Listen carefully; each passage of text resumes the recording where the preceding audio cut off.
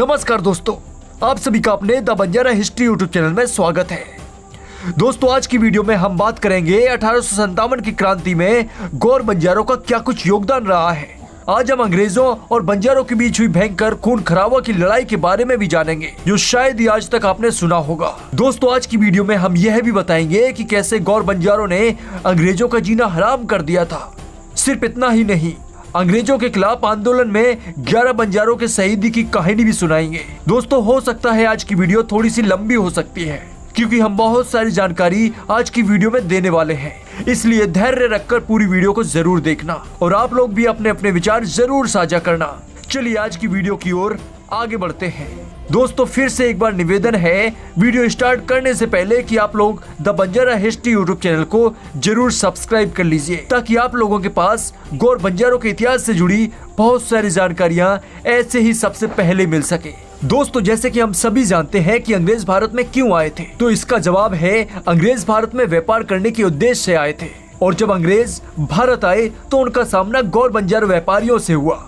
क्योंकि उस समय बड़े पैमाने पर बंजारा जाति व्यापार किया करती थी।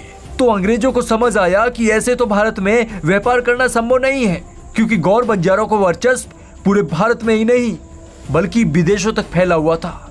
इससे अंग्रेज़ों को व्यापार में नुकसान भी झेलना पड़ता था। लेकिन धीरे धीरे अंग्रेज़ भारत पर अपना शासन करने लगे।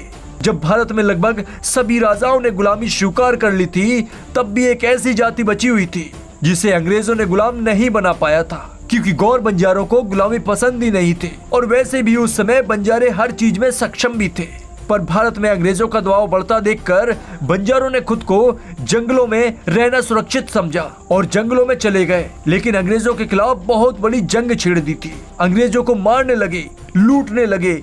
बंजारों ने अंग्रेज़ों को इतना भयंकर तरीके से मारने लगे कि अंग्रेज़ कभी कल्पना भी नहीं कर सकते थे। और इन्हीं सब वजहों से अंग्रेज़ों को यह तो समझ आ गया था कि बंजारों पर बिना पाबंदी लगाए भारत पर शासन कर पाना असंभव है। और यह बात ध्यान में रखते हुए अंग्रेज़ों ने अपने शाम दाम दंड भेद से बंजारों के व्यापार को खत्म करने की पूरी कोशिश करने लगे। और जब अंग्रेज़ पूरी तरह से परास्त होने लगे तो बड़े ही चतुराई से झूठी किताबें छपवा कर बंजारों को बदनाम करना शुरू कर दिया था। उन्हीं किताबों में से एक किताब थी कॉन्फ्रेशन ऑफ़ दी ठग्स और भी बहुत सारी किताबें लिखी गई, जिसका मकसद सिर्फ़ एक ही था कि किसी भी तरह से बंजारा जाति को बदनाम करके चोर, डकैत, लुटेरे बताकर प्रचार प्रचार करना, जबकि सच्चाई में ऐसा कुछ भी नहीं था, क्योंकि बंजारा जाति हमेशा से ही अन्य कई धर्मों में सहयोग देती रही है, और बंजारा जाति में एक से बढ़कर एक महान दानी भी होकर गए हैं, जिन्होंने सिर्फ़ समाज में ही नहीं, दुनिया भर में नाम कमाया था। दोस्तों, गौर बंजारों की लड़ाई तो केवल और केवल अंग्रेज़ों के खिलाफ ही थी। और बंजारों ने तो कभी भी किसी जाति को नुकसान पहुँचाया ही नहीं था। दोस्तों, बंजारा जाति की उस समय बहुत कम जनसंख्या होते हुए भी अंग्रेज़ों को लोहे के चने चबा दिए थे। और इसी वजह से अंग्रेज़ों ने 1871 में बंजारा जाति पर क्रिमिनल एक्ट भी लगा दिया था, जिसके तहत बंजारों को जबरन पकड़कर फांसी दे दी जाती थी। इसके अलावा कड़ी से कड़ी कानूनी कार्रवाई भी की जाती थी। इस वजह से मजबूरन बंजारा जाति को जंगलों में जाना पड़ा। लेकिन फिर भी अंग्रेज़ों को मारना, लूटना, परेशान करना नहीं छोड़ा था। दोस्तों, गौर स्वाभिमान नामक किताब में यह बताया गया है कि अठारह सौ सत्तावन की लड़ाई में बंजारा समुदाय ने भी बढ़ चढ़कर हिस्सा लिया था। बंजारा समुदाय ने अपने प्राणों की आहुति देकर इतिहास में अपना नाम अमर कर लिया है। लेकिन उनके पास बंजारा लोगों के नाम जानने के लिए किसी भी प्रकार का कोई साधन नहीं है। दोस्तों, ऐसे ही बताया जाता है कि फुटुआ गाँव रुड़की तालुका में बंजारे अपनी रणनीति बना रहे थे। बंजारा समुदाय तय कर रहा था कि अंग्रेज़ पर कैसे हमला किया जाए। दोस्तों, आपको बता दें, फुटुआ गाँव रुड़की तालुका में सुल्तानपुर कुमारी और आजमगढ़ के बीच में स्थित है। अठारह की लड़ाई में बंजारे गदर के महिरूप गाँव में केंद्रित थे और फिर बंजारों ने अंग्रेज़ों के खिलाफ जंग छेड़ दी थी। और बड़े पैमाने पर आंदोलन भी किया था। बंजारों ने अंग्रेज़ों से लड़ने के लिए लाठी डंडा के साथ साथ मिट्टी और रेत का भी इस्तेमाल किया था और बहुत सारे अंग्रेज़ों को मौत के घाट उतार दिया था और बहुत सारे अंग्रेज़ घायल भी हुए थे।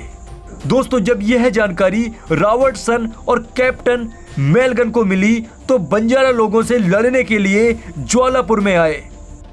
दोस्तों 17 जुलाई अठारह को सुबह बंजारों ने रावर्टसन की सेना पर हमला कर दिया, जिसमें अंग्रेज़ों को भारी नुकसान हुआ, जिससे बहकला कर रॉबर्टसन ने अपने सैनिकों के साथ गंगा नदी पार करके बंजारों पर हमला कर दिया।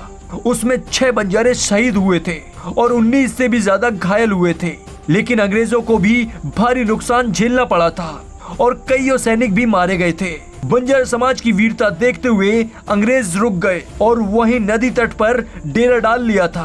अंग्रेज़ों की बंजारा लोगों पर हमला करने की हिम्मत नहीं हुई, पर अंग्रेज़ों की सेनाओं के पास बड़े बड़े हथियार देखकर बंजारों ने अपना ताड़ा छोड़कर अपनी जगह बदल दी और दूसरी जगह चले गए। इधर रावट सर अपने सैनिकों के साथ बंजारों की तलाश कर रहे थे, लेकिन उन्हें पकड़ने में असफल रहने पर रावट सर ने पूरे बंजारा तांडे में आग लगा दी और अंग्रेज़ों ने बंजारों की तलाश के लिए हर जगह अपने जासूस लगा दिए। तो अंततः कुछ बंजारों को पकड़ लिया गया, जिसके बाद रावर्टसन ने 11 बंजारों को मौत की सजा सुनाई और बाकी बंजारे बच गए। इस प्रकार बंजारों ने देश की सेवा के लिए अपने प्राणों की आहुति दे दी। लेकिन इतिहास में इसका कहीं भी कोई रिकॉर्ड नहीं है। इस प्रकार शहीद हुए बंजारा देशभक्त का बलिदान हम कैसे भूल सकते हैं? दोस्तों, उम्मीद करते हैं यह जानकारी आप लोगों को बहुत अच्छी लगी होगी। अच्छी लगी है तो इस वीडियो को शेयर करिए और हाँ आप लोग वीडियो को लाइक करिए, the Banjara history YouTube channel को भी सब्सक्राइब कर लीजिए। वीडियो देखने वाले सभी भाइयों का दिल से धन्यवाद। अब मिलते हैं अगले वीडियो में। तब तक के लिए जय हिंद, वंदे मातरम, जय सेवालाल।